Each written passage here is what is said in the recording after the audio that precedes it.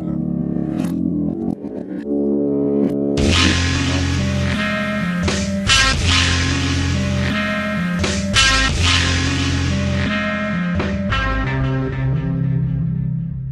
Made me kind of feel like I was disconnected. Uh, so I never really liked illegal drugs. You know, most people that try them don't ever get into them unless they are illegal, the studies show. Then they think it's cool and they want to keep using it.